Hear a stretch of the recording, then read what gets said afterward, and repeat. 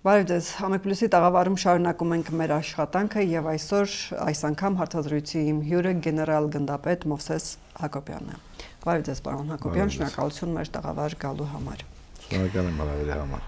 Պարոն Հակոբյան, առաջին հարցը բնականաբար պետք է այն լինի ձեզ ուղղվելիք, որ երեք տեղ ունեցավ քննիչ հանձնաժողով Արցախյան 44-օրյա պատերազմի հանգամանքներն ուսումնասիրող եւ այնտեղ անդրադարձ կատարվեց նաեւ ձեր անձին, մասնավորապես հանձնաժողովի նախագահ Անդրանիկ Քոչարյանը հայտարարեց, որ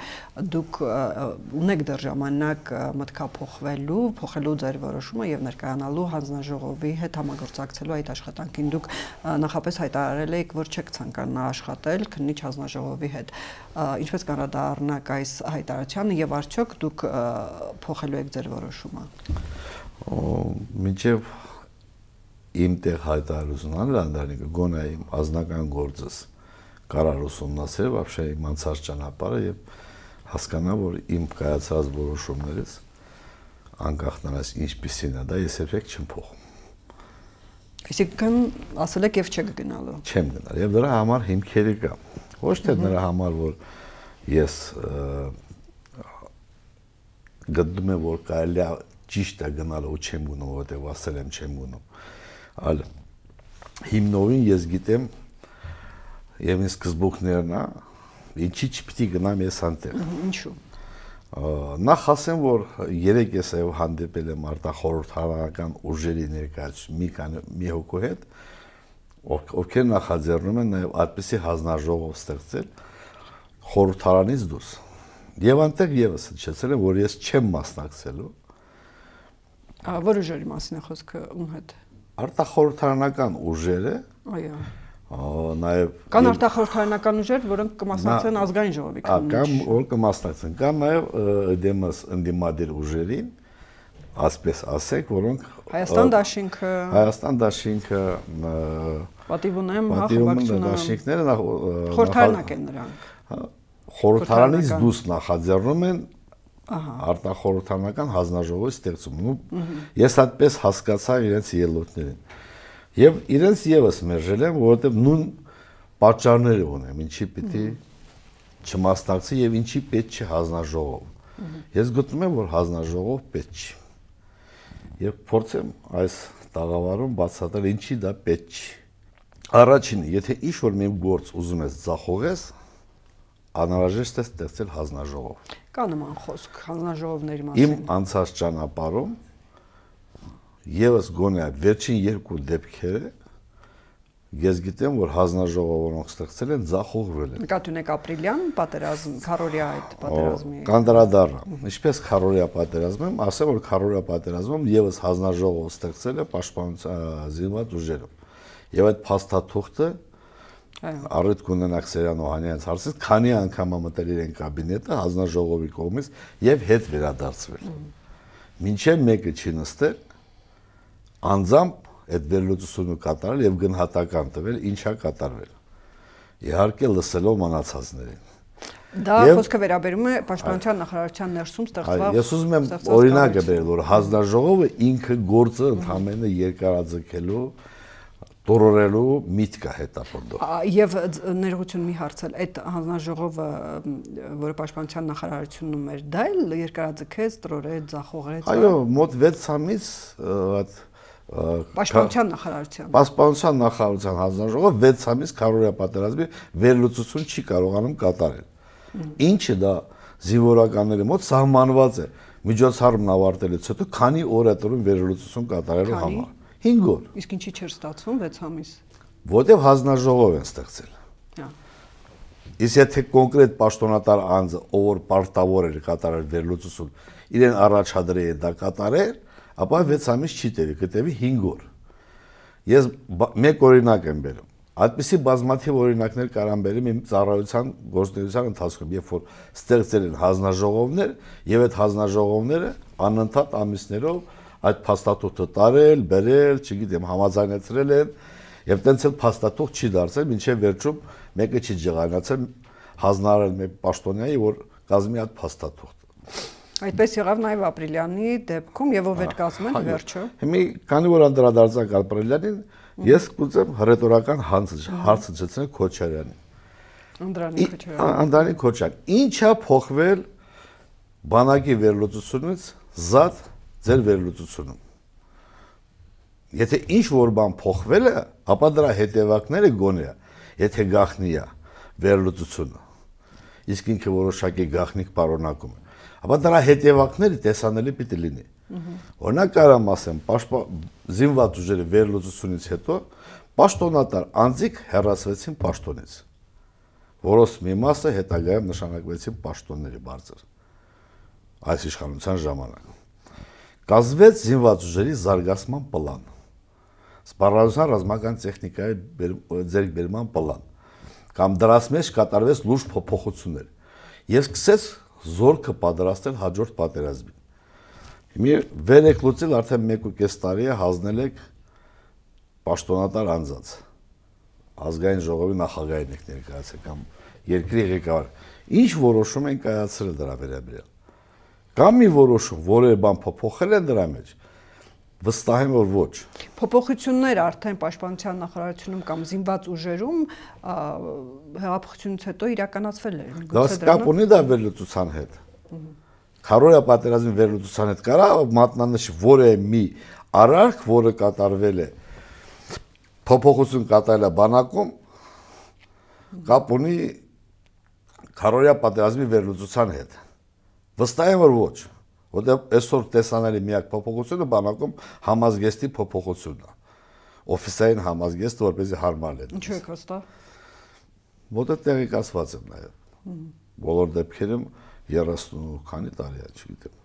բանակում։ Այնուամենայնիվ, եթե այս հանձնաժողովը որոշի, որ դուք պետք է ներկայանաք եւ որոշ հարցերի պատասխանեք, որտեվ նա ասեց, եթե դուք չներկայանաք, ապա ստիպված եք լինելու հրաապարակավ պատասխանել ինչ որ հարցերի։ Ну,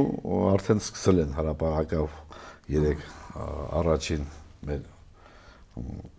Ալիքով հնչեցվել է հարցազրույցը, որ Սամվել Բաբայանի հայտարարությունները նկատի ունեն։ Այո, հայտարարությունները որոշակի ինձ հարցեր են ուղղում։ Այո, նա ասաց, որ առաջարկ է եղել իր կողմից պատերազմի ժամանակ, որ դուք համակարգեք Ջեբրայելի ուղղությամբ պատերազմական դրան դուք պատճառներից մեկը դա է, որ ես դրա համար չեմ Նա է առաջարկել դրա համար ինչ խնդիր կա ձեր մեջ։ Այդպես ինքը հնչեցրեց, բայց այդպես չի եղել։ Ես կբացատրեմ ինչպես է եղել։ Նայեք, հանձնաժողովը ստեղծել են ինչ ասում, ասում, ասում են հասարակության մեջ կա պահանջը։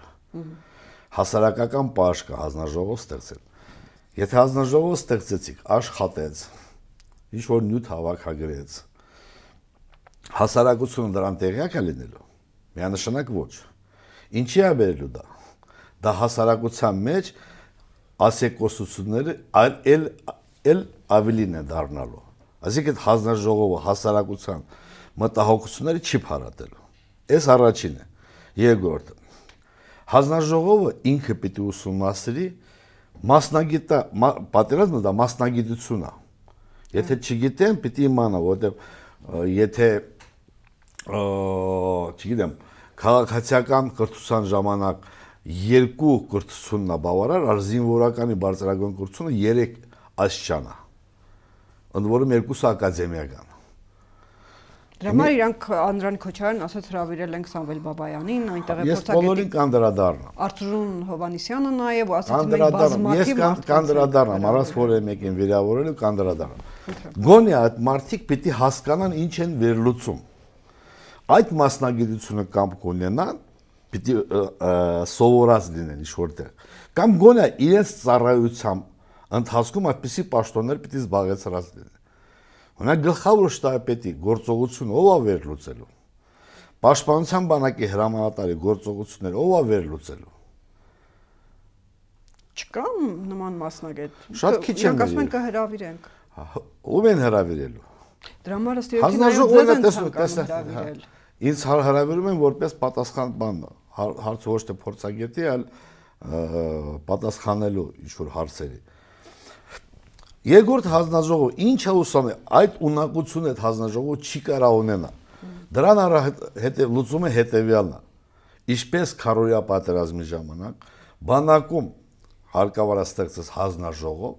եւ այդ հանձնաժողովը, որը մասնագետներ են, վերլուծեն ինչ թերություններ կար անտեղ։ Իսկ դրան հայտնաբերելը շատ հեշտ է, եթե դու մասնագետ ես։ որտեղ մենք ունենք զինված ուժերի ծավալման պլան եւ կիրառման պլան։ Եվ դրանից հետո այդ պլանները ավարտելուց հետո կա նաեւ ընդհանրից որոշումներ, որոնք պետք է հրամանատարները, ղեկավարները կայացնեն։ Պիտի ուսումնասիրեն կայացրած պլանների կետերը կատարվել են թե չէ։ Որտեվ դա օրեր, ժամեր, կոնկրետ պատասխանատու անձիկ տեղանք այդպես է պլանը կազմված։ Նա վերացական չի ռոպեներով պլանավորված ով որ ժամին ինչ պիտի կատարի։ Այս պատերազմի ժամանակ նման պլանավորում կար։ Այո։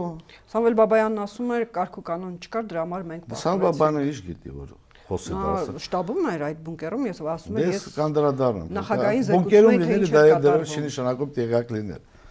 Ես կանդրադառնամ, ինչ է նշանակում ընդհանրապես ղեկավարում լինելը։ Ղեկավարումը, եթե դու պատերազմի ժամանակ կես ժամ գոնե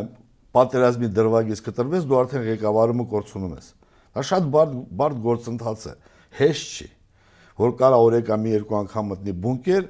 կամ հրամանատարական կետ ու տեղյակ լինի ինչա կատարում բանակում։ Ես 30 քանի տարի 82 թվականից մինչև հիմա բանա մինչև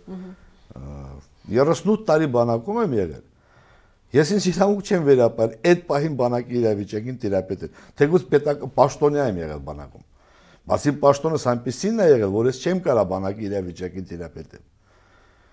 Եվ ոչ մեկ բանակի իրավիճակին կարա թերապետել մենակ գլխավոր շտաբետը, իրեն առաջին տեղակալը եւ պաշտպանության նախարարը կամ վարչապետը, եթե իհարկե ունակություններն ունեն թերապետելու։ Միտքը դրա համար հանձնաժողովը ստեղծել է ի՞նչն է, եթե դա չես կարողանում մասնագիտական վերլուծություն կատարես։ Ընդգրկեն են փորձագետների փորձագետ կոչվողը, որպես դու կոչես փորձագետ, գոնե մեկ գործ պիտի ունենաս, որը այսօր բանակում կիրառվում է, որ դու ասես այս գործի փորձագետն եմ։ Օրինակ ես բազմաթիվ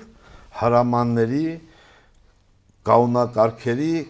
համահեղինակ եմ կամ հեղինակ, որոնք այսօր միջի հիմա բանակում գործում են։ Եվ դա համարում եմ իմ զավակներից իմ զավակս, որտեղ դրա վրա ես քրտնել եմ այդ կարգը սահմանելու համար։ Արծրուն Հովանեսյանը, որ փորձագետ է, այսքան տարի բանակում ծառայել է եւ կանոնակարգ ղեկավարել է լրատվության ոլորտը։ Գոնե ինքը իր ոլորտի կանոնակարգումը կազմակերպել է թե չէ։ Հարց կտակ առիթ կօգտագործեք, ասեք դու գոնե ի պաշտոնե պատասխանատու ես եղել դա կանոնակարգելու։ Կանոնակարգել է թե չէ եւ հրամանի համարը թողնչեցնի որ հրամանով է կանոնակարգված դա որ գոնե որպես այդպես չի որ դու դուրս գաս փողոցում հերոստատեսությամբ կամ ինչ-որ մի լրատվամիջոցով հարցազրույց դու քեզ հաշվես փորձագետ կամ բաց ինֆորմացիային վերլուծես դառնաս փորձագետ Հիմա ամեն դեպքում եթե ձեզ հravirեն ինչ որ առիթով, ինչ որ հարցերի համար դուք հանձնաժողով կգնաք թե ոչ։ Իհարկե ոչ։ Գնամ ինչ անեմ։ Առաջին անիշ որ ես խոսելու եմ, ինչ որ խոսել եմ։ Ես նաև ձեր հայացքից հասկանում եմ, որ դուք դուք եւս ինչ չեք հասկանում։ Միգուցե։ Որտեւ տերմինները տարբեր են։ Ես խոսելու եմ ուրիշ լեզվով։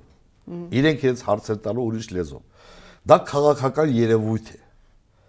Հանձնաժողովը դա քաղաքական երևույթ է։ Ես քաղաքականությունից դուրս մարդ եմ։ Ես չեմ կարող քաղաքականությունից զբաղվել վստահ եմ որ գնալու եմ ես տեսակետ եմ հայտնելու այնտեղից մի հատ քաղաքական հայտարարությունա հնչերելու որը իս դուր չի գալու ես կոպտելու եմ ես դա ես վրա վստահ եմ որ ես կոպտելու եմ դրա համար չեմ գնում դա օրինակ նման հարց է հնչում, որ Սեյրան Նոհանյանը ենթադրենք հայտարարվում է, որ Շուշիի ուղությամբ որոշակի առաջադրանքներ է ստացել եւ գնացել է եւ հարց է բարձրացվում չպետք է գա հանձնաժողով ներկայացնի ինչ առաջադրանք է կատարել կամ ընդհանրապես Շուշիի օպերացիաների ժամանակ ինչ սխալ է ինքը նկատել կապ չունի ում կողմից կատարված միգուցե նրա դիտարկումները օգտակար լինեն այդ թվում նաև ձեր հարց հնչեցնողը բնորոշում է որ ինչպիսի հարցեր են ուզում հնչեցնեն Սերյան Օհանյանը որևէ պաշտոն չի զբաղեցրել Շուշիի օպերացիա կամ Շուշիի օպերացիա այդպիսի հասկացողություն Շուշիում, լավ, օպերացիան գուցե ես օգտագործեցի։ Շուշիում Բանակը ղեկավարում է ուղղայած վերտիկալով։ Կա հրամանատարներ, ենթականներ եւ այդպես։ Սերյան Օհանյանը որևէ միտեղ այդ ուղղայացում չի եղել։ Լավ, անդրադառնալով ձեր մասին Սամվել Բաբայանի հայտարարությունը, որը վերաբերում է պատերազմի ժամանակ Ջաբրայելի ուղությամբ, որ առաջարկել է ձեզ ստանձնեք այդ պատերազմի ղեկավարման այդ հատվածում դերը։ Դուք հրաժարվել եք ասելով, որ քանի որ նա է առաջարկում, ես համաձայն չեմ, ինչու։ Նայեք, ես փորձեմ նորից հետ անդրադառնալ ինչու ես որոշեցի ընդհանրապես երբեմ նոյեմբերի 18-ին հարցազրույց տամ Ես իմ ամբողջ կյանքս ներել եմ Արցախին եւ բանակին։ Գիտակցական կյանքս, որտեղ ամբողջ իմ գիտակցական կյանքս պատերազմի առաջին օրվանից մինչև վերջին օրը եղել եմ ներգրաված այդ գործին եւ որոշակի դերակատարություն եմ ունեցել։ Այդ պատերազմի պարտությունը ինձ համար բավականին մեծ ցավ է պատճառել ազնական եւ ես ամենից մեծ ցավը ապրել եմ այն պահին երբ որ տեսել եմ, որ ինչպես մեր ստեղծած բանակը վերածեցին 2020 թվականի բանակը, որը բավականին մարտունակ բանակ էր, վերածեցին 92 թվականի ջոկատների։ Եվ վերածվեց 92 թվականի կառավարման համագարքի։ Ես ամենից մեծ ցավը տեղ եմ ապրել։ Բացի մեր մարտական ընկերների կորուստների ես չհաշված Շուշի եւ մեր տարածքների կորուստների ղեկավարման համակարգում դա եմ տեսել։ Ինչ վերաբերում է Բաբայան Սամբելի ասացին ինչու սա Ասում եք դուք մոտ եք եղել, մտերիմ եք եղել հրամանատարի շտաբի։ Սրան նախորդել է իմ աքսորումը Արցախից։ Ում կողմից։ Պաշտպանության նախարարի խոսքերից վարչապետի հրամանով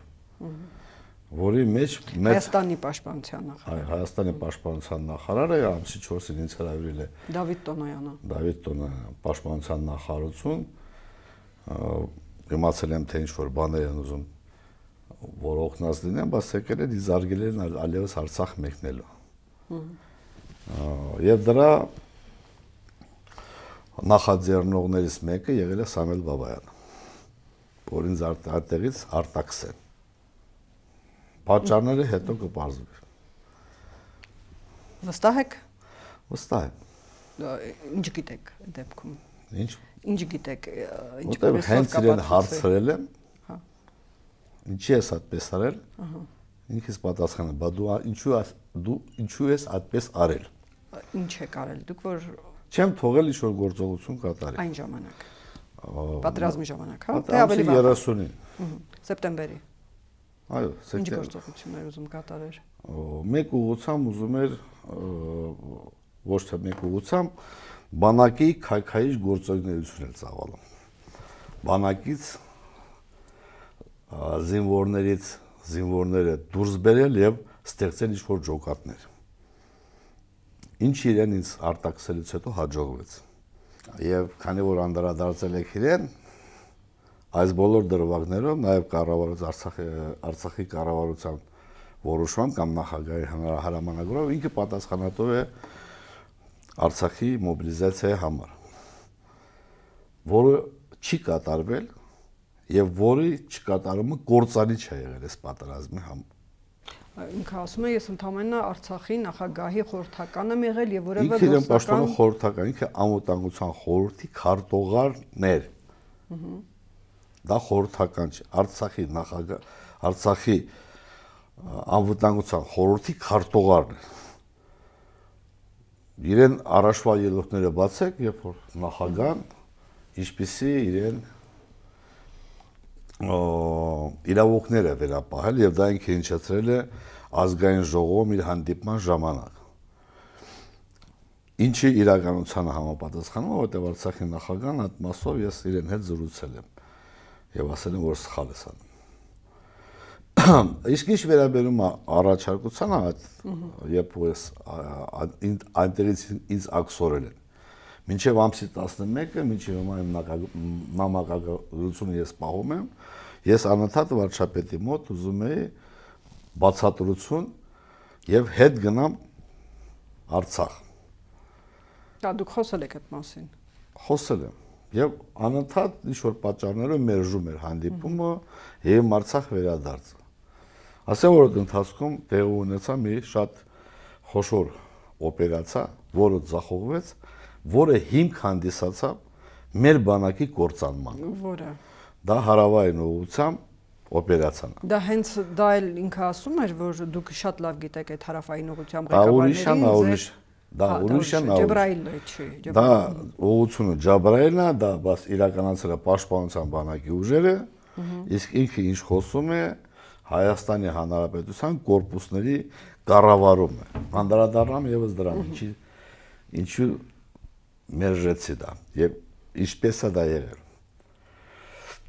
Ամսի 11-ին, չգիտեմ, հոկտեմբերի 11-ին։ Հոկտեմբերի 11-ին էր կամ 10-ին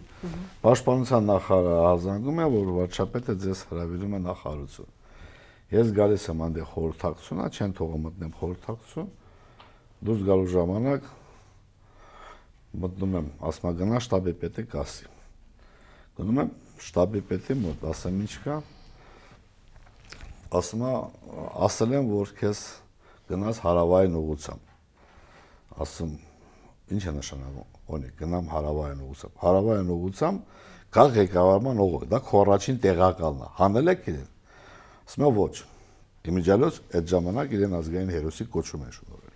Ով էր նա։ Տիրան հա, Խաչատրյանը։ Խաչատրյան այդ ուղղությամբ ի պաշտոնի ես որ ասում եմ պլանները բացեք նայեք, անտեղ հրամանատար կա նշանակված։ Նախատեսված է, դա այդպես չի որ դա այսօր պիտի որոշել։ Եվ այդ հրամանատարն ազգային հերոսի կոչում եք տալիս։ Այդտեղ կորպուսի հրամանատարները բոլորը մեկ ազգային հերոս է դառնում մնացածը մարտական խաչի առաջին աշճանի ասպետներ։ Այդ ուղղությամբ հրամանատարները դառնում են հանրապետության հերոսներ Երկրորդը ինչ է նշանակում գնա այնտեղ։ Հարցնում եմ, ով է որոշել, որ ես գնամ։ Ասում են Բաբայան Սամոն։ Ասում են թե Բաբայան Սամոնը որոշել։ Ինչ եմ ներողություն եմ փնտրում, այս բառը օգտագործել եմ, որ ինչպես լսել եմ, այնպես փոխանցում եմ։ Որտեղ ես երբեք երբեք ցույց չեմ տվել իմ հրամանատարի Սամո ասեմ։ Ինձ ինքնից համար մի եղել է Բաբայան Սամվել։ Ասում եթե ինքն ասում, ես չեմ գնում Դա ինքի պաշտոնի իրավունք չունի որոշի ես որտեղ գնամ։ Իսկ կարա որոշի վարչապետը կամ պարոն նախարար, դու կարաս որոշես։ Եթե որոշել եք ես պետք է գնամ դե գրեք հրաման ես կգնամ։ Այդպես էլ հրաման չի գրվել։ Ինչու չգրվեց։ Ինչի չգրվեց չգիտեմ։ Կարծրեք պաշտպանության նախարարին։ Ինչի չի գրվել կամ ինչու վարչապետը չի հազդա։ Իսկ եթե Բաբայան, Սամվել Բաբայանը չէր առաջարկում, այլացվեր, որ մենք ենք որոշել կամ վարչապետն առաջարկում։ Մենք չեք պաշտոնատար անձ երկու հոգի կա, որ կարա որոշի ինչ որտեղ ուղարկի դա մեկը երկրի վարչապետն է, մեկը պաշտպանության Եթե ամեն դեպքում եթե Սամվել Բաբայանին հանենք այդ օղակից, եթե լիներ հրաման, որ պաշտպանության նախարարի հրաման լիներ, ես չեմ կարա չգնամ։ Եթե լիներ վարչապետի որոշում կամ հրաման, ես չեմ կարա չգնամ։ Ընդ որում ես առաջարկել եմ, ասեմ, եթե անհրաժեշտ է, տվեք իս կազմը, ղեկավար կազմը, ովքեր են անտեղ։ Որպեսզի ես ես քարտեզ եմ մշակել, այդ քարտեզը մի մինչև նախարարությունում որ տեղերը մինչև իրենք որոշում կայացնեն, ճշտել եմ ով որտեղ։ Որպեսզի որ գնամ այնտեղ գոնե թեթևակի իրավիճակին դերապետ եմ։ Իսկ որ դուք ասում եք հայրafային ուղությամբ օպերացիա էր մշակվել եւ դա ձախողվել էր կմանրամասնեք Չեմ մանրամասնել, որովհետեւ ձախողվեց, ինչ օպերացիա էր դա, որ ձախողվեց, որովհետեւ կարծում եմ բանակում եթե ստեղծի հանձնաժողով վերլուծի, որովհետեւ պատերազմի կանոնների կոպիտ խախտում տեղ ունեցավ։ Ինչ։ Ինչու՞։ Ինչ, ինչ խախտում։ Ну հասարակության համար դա անկալելի չէ, նպատակարար չեմ գտնում հնչեցնեմ։ Բայց բոլոր դեպքերում հնչեցնեմ։ Որպեսզի ասնես հարձակման մի քանի բան կա որ պիտի կատարվի։ Առաջինը հակառակորդը պիտի կաղնեցված լինի։ Հակառակ կաղնեցված եւ ջախջախված պիտի լինի։ Հակառակորդի մոտակա ռեզերվները պիտի հայտնաբերված լինի եւ ջախջախված լինի։ Պիտի կատարես վերախմբավորում Եվ առնվազն այդ վերախմբավորումը ընթացքում առնվազն պիտի տևի 3 օր, որ เป զի զորքը, որը վերախմբավորում ես, իրավիճակին թերապետի Եվ նոր կարաս ասես կազմակերպ վերախմբավորումը իրականացում են, որպեսզի ուժերի միջոցների հավասարակշռությունը փոխես օգուտ քեզ։ Տիրան Խաչատրյանն էր ղեկավարում։ Ոչ։ Ոչ։ Դա ղեկավարում էր բանակի հրամանատար։ Հա, բարձր։ Հա, մեկ ուղղություն է, մեկը մեկ ուրիշ ուղղություն է։ Դրա համար ասես քաղաքացիական մարդկանց մեջ, ինչպես հատ հանձնաժողում, դա բացատրել անհնարին է։ Սամվել Բաբայանն օրինակ երեք նաև ասում էր, որ միգուցե ինչու ձախողվեց, միգուցե սպայական կազմը իր տեղում չէր, ինչու էր մոբ այդպես ընդհանրապես բանակ հարավային ուղությամբ այդպես քաոսային վիճակում փախնում, ինքը ասում էր, երբ որ մենք ռացիաներով լսում ենք, թե ինչ քաոս էր տիրում այնտեղ, այնտեղ ահավոր էր։ Ես խորհուրդ եմ տալիս դուք ուսումնասիրեք կամ մեկին խնդրեք ուսումնասիրել ձեզ համար, տեսեք որը մի բանակում կա զինվորական պաշտոնյա, որը ունի խորհրդական։ Կտեսնեք, որ չկա։ Դա պատահականություն չի։ Ինչպես աֆրիկյան երկրներում, անպես էլ ՆԱՏՕ-ի եւ Ռուսաստանի երկրներում զինվորական պաշտոնյա խորհրդական չունի։ Ուրեմն մեր մոտ դա կար։ Ուրեմն մեր մոտ դա ստեղծվել է այս պատերազմի ընթացքում։ Եվ Սամվել Բաբայանի ասած խոսքերով իրեն առաջարկությունը։ Դա ինչ է ինենից ներկայացնում։ Ինքը ասում է, առաջարկել եմ կատարեին։ Եվ մեկ ուրիշ դրվակ, չգիտեմ, անունը ոնց են կոչում, չգիտեմ, Շուշիի անկման նախաշեմին կոչվող սխնակի ուղությամբ օպերացիան։ Խնդիրներն առաջադրում են ու դրա համար պատասխան չեն տալիս։ Առաջարկություն անում են եւ դրա համար պատասխան չեն տալիս։ Դա Սամվել Բաբայանն է արել։ Ես կոնկրետ Սամվել Բաբայանն է դրվագում, բայց կապ չունի ով ուզում է լինի։ Եվ ուզում ես ուզում եմ բացատրեմ ինչու չի կարա չի կարելի դա թույլատրած։ Որտեւ մեր երկրում մարդիկ չեն ուզում օրենքներն կարդան մեր մայր օրենքը, որով կանոնակարգում է բանակի ղեկավարությունը, ղեկավարումը, դա ներքին ծառայության կանոնագիրքն է։ Ընդ որում առաջին կետում գրած է, որ եթե որևէ մի օրենք հակասում է կամ հակասության մեջ է մտնում այդ օրենքի հետ, ապա գերական ներքին ծառայության կանոնագիրքն է։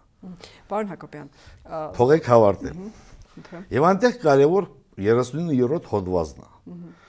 որ հրաման տվողն է պատասխանատվություն կրում հրամանի կատարման համար։ Հրաման, ասիկ որոշում կայացնող, որ ձախողվել է այդ օպերացիան, դրա մեղավորը միայն ու միայն դու ես, որտեղ դու ես այդ որոշումը կայացրել։ Մինչև մենք դա չընկալենք, մեր երկրում խորհրդականն է լիքը լինելու են, ովքեր միայն ու միայն խորհուրդներ են տալու, բայց երբեք պատասխանատվություն չեն կրելու հասկանալի է, որ դուք այդ օպերացիայի դեպքում էլ, որը չի կայացել Սամվել Բաբայանի ուղությամբ եք սլակներն ուղում։ Ես չեմ ուղում հա։ սլակները որը մեկ։ Ես երողությունն եմ փաստում, որ այսուհետ այդպես չանեն։ Շատ լավ նորից Համվել Բաբայան պատկասեմ, բայց ամեն դեպքում ինքը ասում է հնարավոր էր այս պատերազմը գրել, եթե կարգուկանոն լիներ, կարգուկանոն չուներ եւ տպավորություն այնպես չկար եւ տպավորություն այնպեսից էր խոսքից, որ սպայական կազմը տեղում չէր, պատրաստ չէր, լավ չէր աշխատում, օպերացիաներ չէին պլանավորվում։ Ձեր կարծիքը այդ մասին եւ արդյոք Այստեղ իրեն այդ համաձայնվելով լրացնում եմ։ Իհարկե մենք այս պատերազմում պարտվելու իրավունք չենք ունեցել։ Այս կարգի պարտվելու իրավունք գոնե չենք ունեցել։ Որտեղ մեր բանակը ի վիճակի է եղել դիմակայել հակառակորդին։ Այն երկու թերությունը, որ ինքը նշում է, դրան պիտի գումարեք երկրի ղեկավարության պարտականությունների չկատարում, կոնկրետ մոբիլիզացիայի վերաբերյալ ինքը անընդհատ շեշտում է վարչապետը որոշումը կայացել է մոբիլիզացիա կատարել ինչու վայնկամատները չեն կատարել ուզում եմ եւ իրեն եւ մնացած բոլոր մարդկանց ովքեր այդպես են պատկերացում ներկայացը որ զինվորական կոմիսարիատը պատասխանատու չի զորավահակի զորահավաքի համար ինքը դրան զորահավաքը ընդունող եւ վերաբաշխող է։ Զորահակի պատասխանատուն կառավարությունն է։ Իսկ եթե վարչապետը որոշում է կայացել կազմակերպել զորահավաք, ապա ինքը պիտի պատասխան տա զորահավաքի չկատարման համար։ Այդ առաջինը։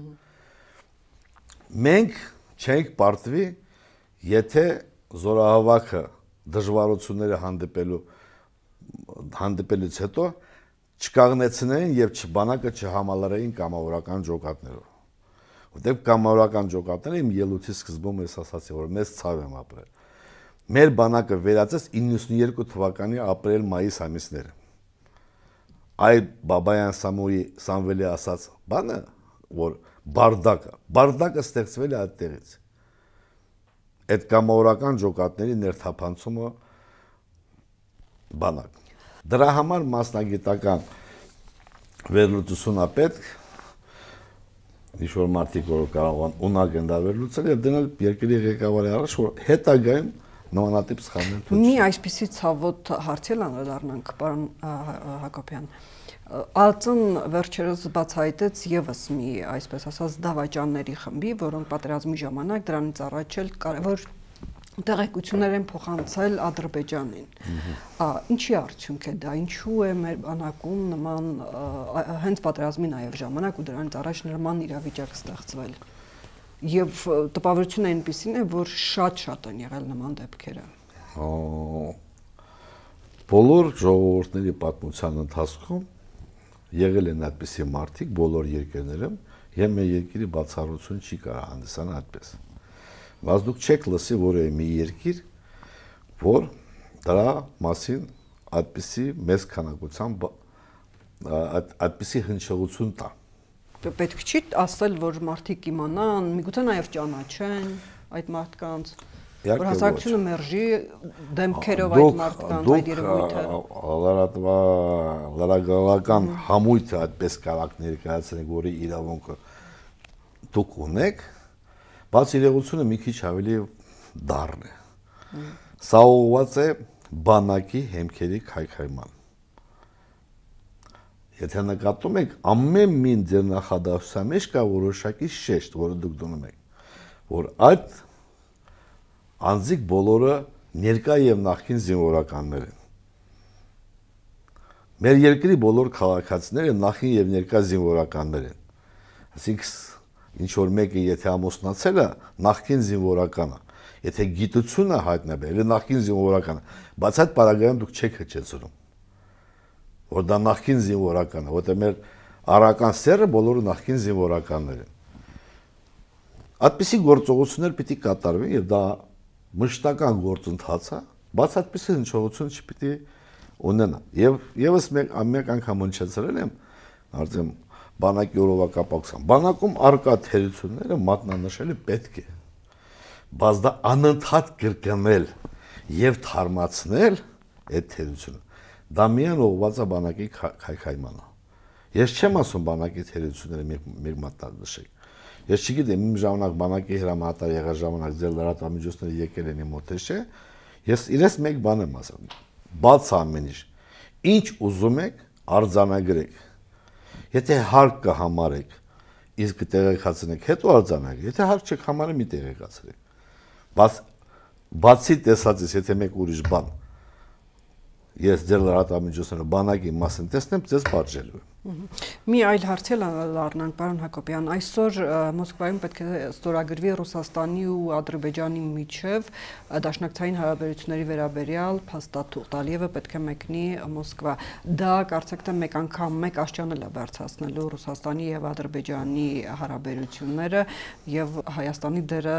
նվազում է ավելի, ինչ պետք է անի Հայաստանը եւ ինչ է դա նշանակում Հայաստանի համար։ Դա զուտ Ադրբեջանի եւ Ռուսաստանի ներքին գործերն է։ Այո, բայց նաեւ վերաբերում կարող է վերաբերել Հայաստանին։ Եվ իհարկե դա վերաբերվելու է եւ դրանից այս պահի դուրսամ մենք որևէ բան չենք կարող անել, որտեղ դա իրենց որոշելիքն է։ Եթե